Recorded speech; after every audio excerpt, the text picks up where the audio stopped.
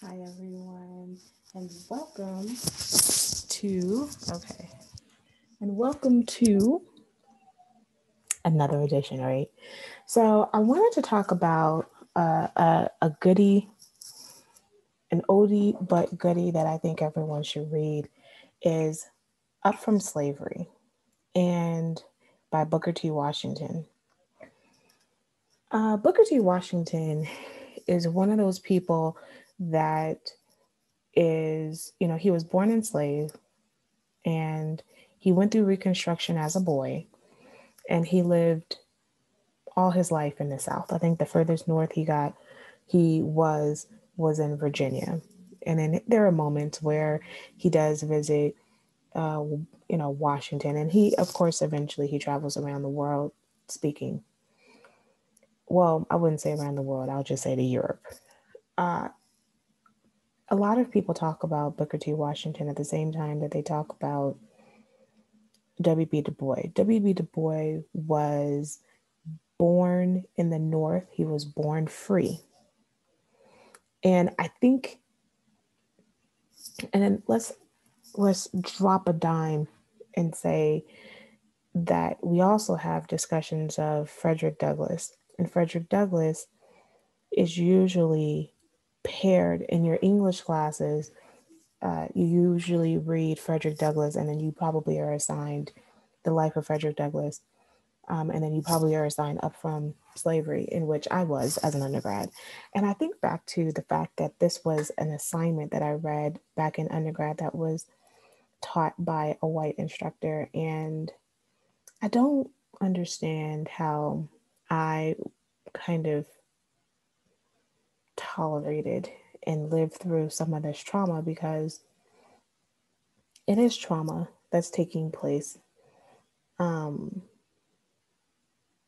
because you're constantly, because Up from Slavery is a book that I'm not sure, and it's only 123 pages. I'm not sure how I feel about reading it in kind of like a, a mixed group of company. And I say this because Booker T. Washington evaluated slavery in a different way. He was definitely more um, gentle about the institution than someone like a Frederick Douglass. Booker T is able to describe how slaves really loved their master and cared for their master. And he gives even descriptions of how their map of how a man who was paying his debt for freedom continued to pay their debt even after the Emancipation Proclamation. He even goes into description of how um, slaves, the American slave trade, uh, improved the lives of Blacks versus their counterparts in other countries. And it's like, I'm sorry. This is his experience. So it's hard for me. I, I, I, I want to throw judgment but I wasn't born in that in that time frame. And so part of me is like, and then when he was building Tuskegee, the fact that you are traveling around giving these speeches in front of white folks, talking about how black people need to be taught how to be civilized and you know, and he even gives a description of using a toothbrush as that indicator of being civilized. It's like I can't with this guy. Give me a break. But at but at the time, and he also was like the notion of uh, we have to teach them how to bathe and teach them how to, um, you know, how to exist in this new civilized freedom. And we don't want education. And then he even gives this whole long description of which is really shade to Du Bois, um, how these young people are being taught Latin and French, but they don't do hygiene.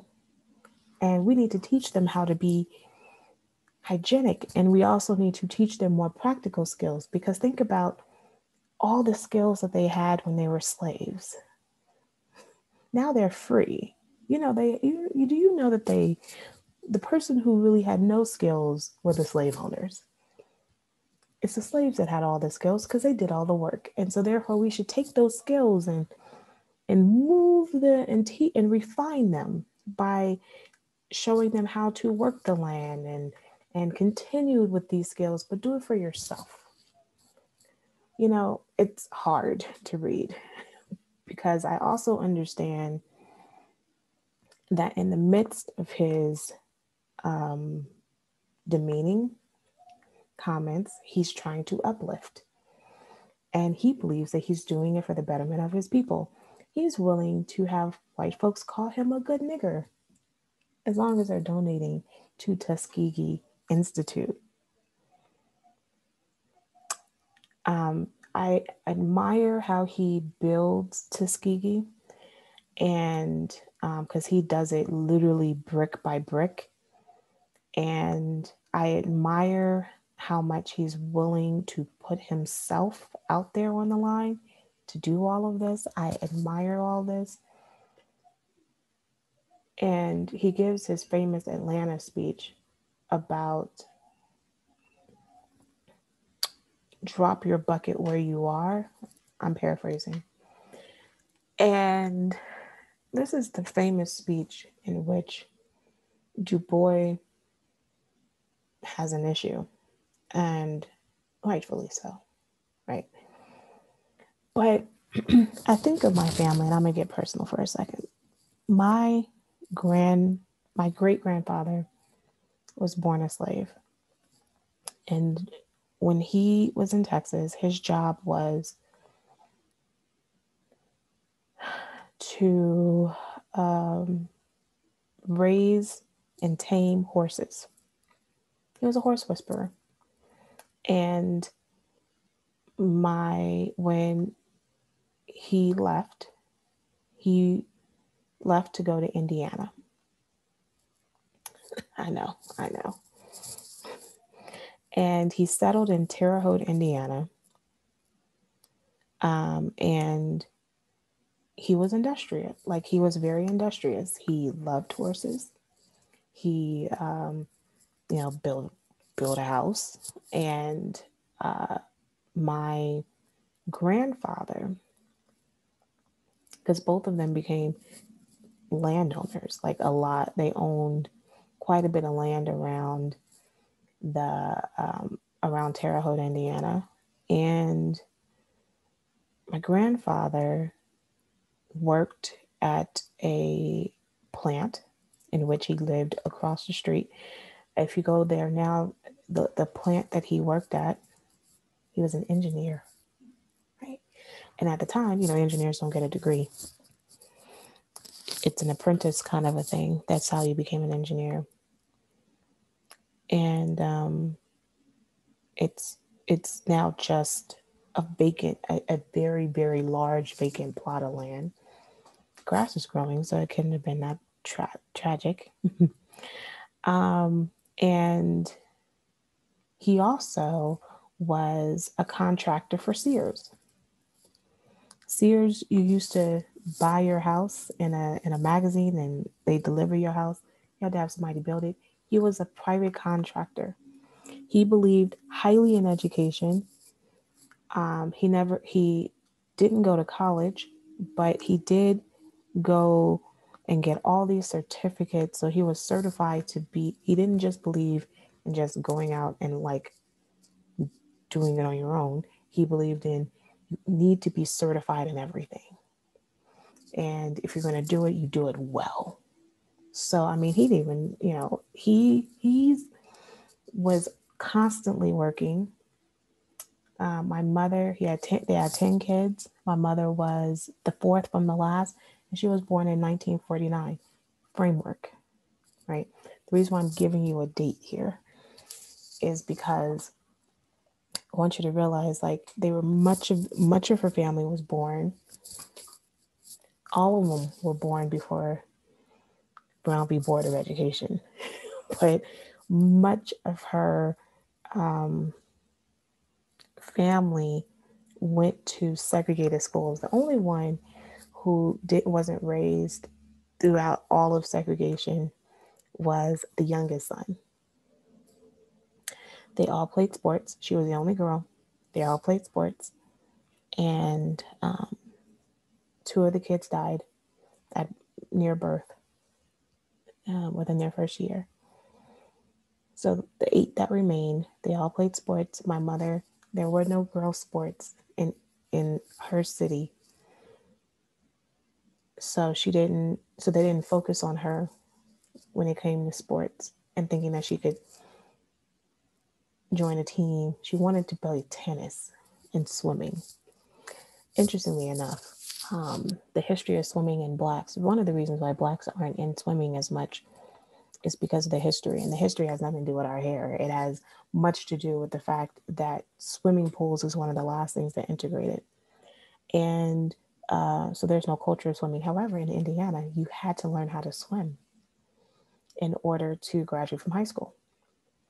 So blacks had access to pools, uh, even public pools. Uh, anywho,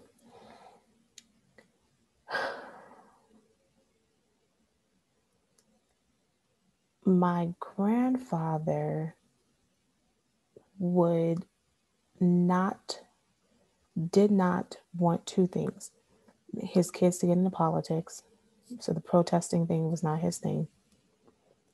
And part of it was because you have to remember the context of Emmett Till. And Emmett Till was a real vivid thing. Um, you also have to remember that uh, he also, number two, if someone were to call you nigger, you take it. Do not get into a fight. And so my my uncle one time when he, when he was in high school, that's when he first integrated, got into a fight because someone did. Came home, his father was like, "What happened?" And his father whooped him. And one of the reasons, I mean, they were so good in sports. One of them was in, in is in the, the Hall of Fame in track and field. One of them went to University of Michigan to play football on a scholarship, the oldest. Um, he was a quarterback in high school, but you know you don't become quarterbacks black quarterback in the in the in the early fifties, late forties, yeah, early fifties. Um, so just dazzling sports. All of them had sports scholarships. All of them, so one of them, uh, I mean, dazzling in sports. But discrimination and racism, I, I call racism a spirit killer, a dream killer. It is a dream killer. It makes you bitter. It hurts and cuts people's souls. And I've seen it in my own family, and I've seen it in myself and sometimes. So I say that to say that the reason why my grandfather felt so strongly that they had to just kind of take it, not embrace it, is because it's a strong, it's a survival. There is a strong possibility that someone could have came and knocked on their, no, not knock, came into their house, take his son and lynch him. It's a strong possibility. It is a survival issue. So I understand Booker T. Washington. This is survival. I am teaching my people how to uplift themselves in the midst of spaces that aren't as free as and, and can just sit in and study, you know, Latin. Ironically, that was ironically, and this is the reason why I get angry when I hear people talk about segregated schools.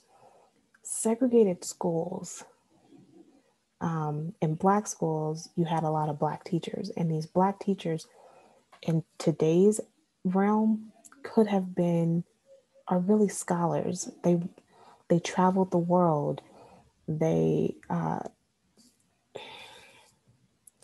they had master degrees to teach, so they were really skilled. And in these segregated schools that my mother, kid, my mother and her uncles went to, not only did they learn about all the other things, history, math, blah blah blah blah, but they learned a second language, and they learned they were taught Latin and Greek and sometimes French, right? They were taught this. And um, my mother became a Latin major, Latin and political science major. Uh, and that was Latin was just a part of the curriculum in junior high and high school. Everyone took it.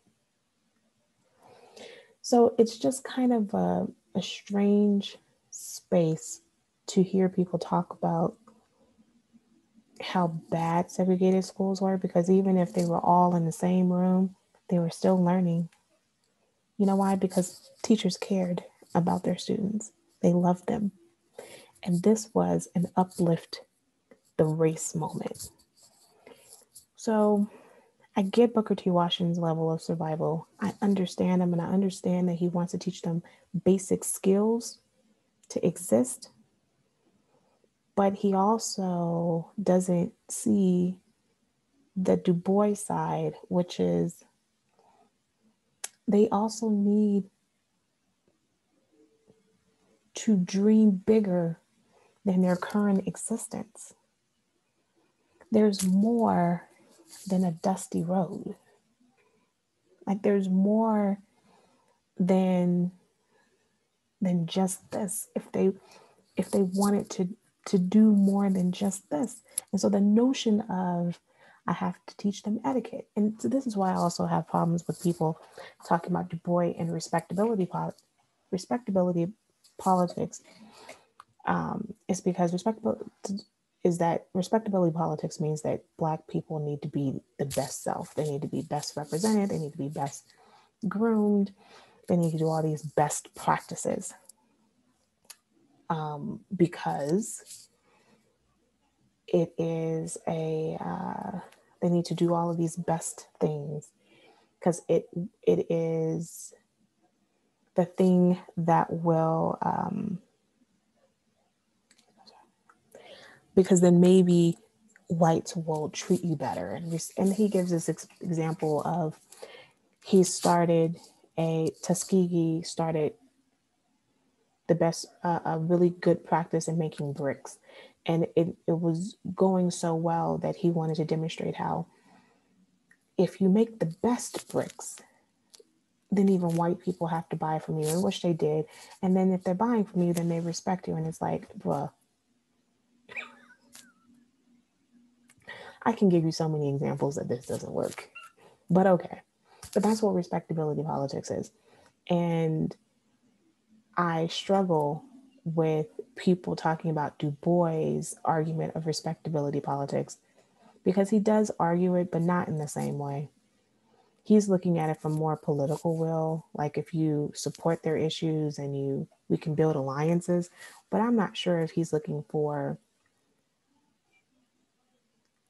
especially later in his life, he's like, look, it ain't possible that we don't get together.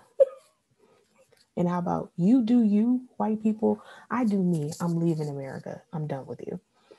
Um, but Booker T has this idea like, oh, we can just all be together. and we can respect each other. I mean, he is the definition, quintessential respectability politics. And it is a difficult read in in my mind. I understand it, but I just struggle. So I think that it's important for you to read up from slavery and have these thoughts.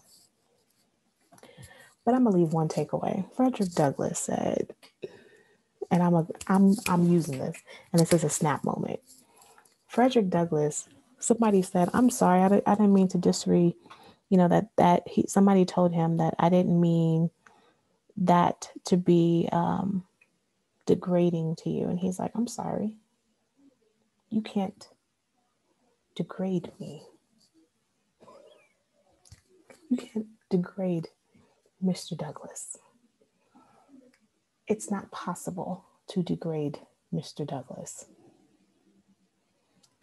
Because when you degrade, when you attempt to degrade me, all you're doing is degrading yourself. And I said, say that, Mr. Douglass. And that's true. When you're disrespecting me, you're disrespecting yourself. You're not disrespect. It's not possible. Because he's saying, like, I'm so on, I'm gonna be a Jay Z reference. I'm so off that. You do you. I'm doing me. I'm so off of your disrespect. And that's where we're at. Um, go check it out. It's a really short read. You should just consider it, open your mind to it. Like I said, have a great afternoon.